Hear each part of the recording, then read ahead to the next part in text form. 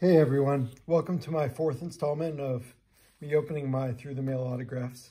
Um, I currently live in The Hague, which is really close to Amsterdam, Netherlands.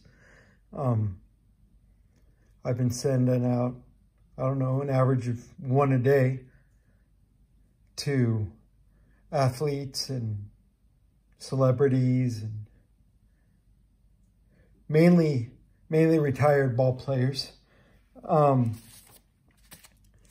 Today I have four returns.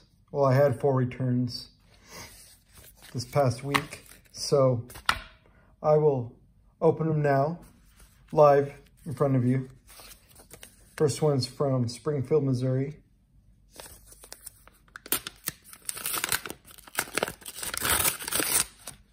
Looks like it's just the cards. All right. John Felske, manager of the Phillies, for my 86 Topps and 87 top sets. Leave that right there. Okay, the next one is from Trenton, New Jersey.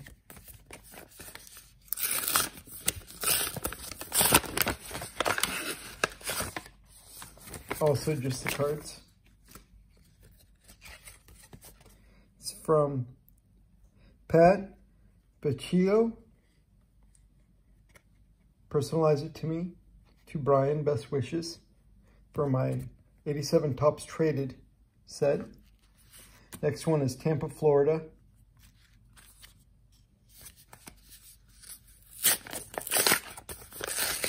All right, got a letter back.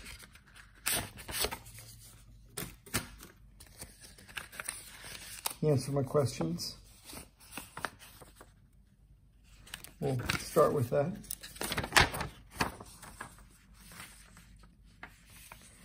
Was the best question?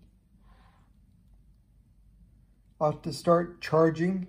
People send to many cards like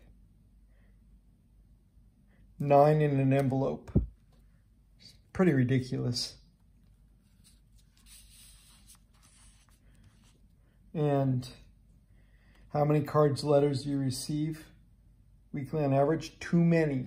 Since COVID, 40 a week. It's ridiculous. Well, I don't know. If you charged, wouldn't be as much, as many. It's Don Robinson. I don't think he's a fan of receiving a lot of fan mail.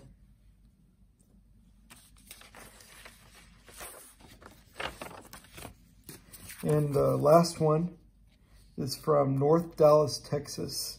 I can kind of see the card through the envelope, and I don't remember sending out an 84 Topps card.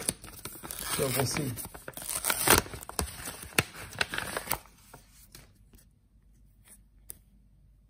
Jackie Moore. All right. He included one of his own. Former Oakland A's manager. It's great. If you have any, any suggestions that might make my videos better, go ahead and leave it in the comments. Um, make sure you like this video and subscribe to my channel.